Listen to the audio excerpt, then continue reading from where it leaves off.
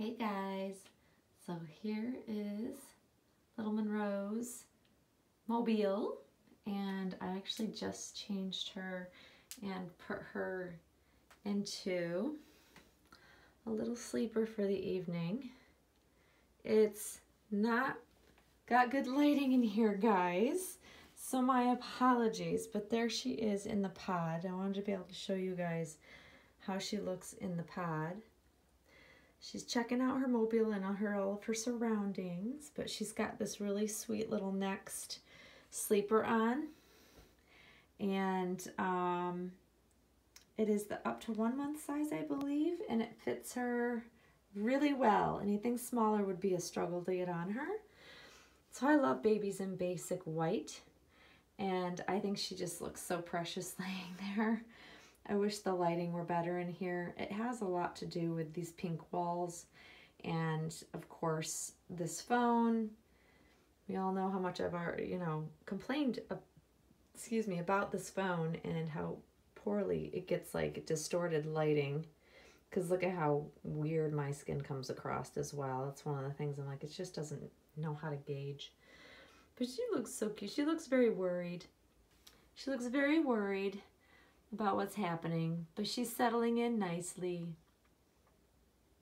I'm getting her ready for bed now and just had to share her one more time with all of her aunties out there. She just is so precious, you guys. I love her. Getting to know her little personality. Gosh, she's so cute. Hi, pretty baby. I've, as you guys can probably tell with all of the many uploading of videos this afternoon and evening, I am thoroughly, thoroughly enjoying her. Thoroughly.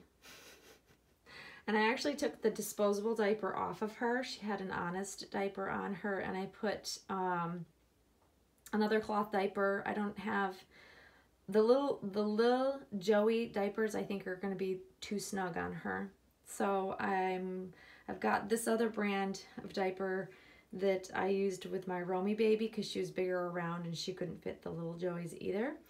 So I'm going to continue to use this brand because it really fits her nicely and I'm not really a huge fan of disposable diapers and leaving them on the baby for too long just because um, I guess I'm just not. I want to try the new Pampers Pure diapers and see how those are. I think they have less like chemicals and things in them, so I would be more apt to put one of those on her. But for now, this is pretty good. I'm gonna nestle her in. She looks so sweet in the pod, you guys. She looks so concerned. She's like, what is going on? I love that little expression. But yeah, I am really getting to know this baby and you will definitely see lots more with her but I, I really am trying to get her in different lighting so you can see how her little facial expressions seem to change a little bit. They just seem more prominent, like in different overhead lighting versus being outside in natural light. It's just really interesting to me that, that she changes her little facial expression slightly with that, that brow line. So she's just really sweet, you guys, and I hope you guys are enjoying seeing her. And will continue to enjoy seeing her on my channel. Update real quick with um, my reborn baby is I've still not heard a thing. Um, tomorrow will be two weeks. When she said it would be two weeks, it should be done. So I'm hoping maybe she'll email me tomorrow. I don't know.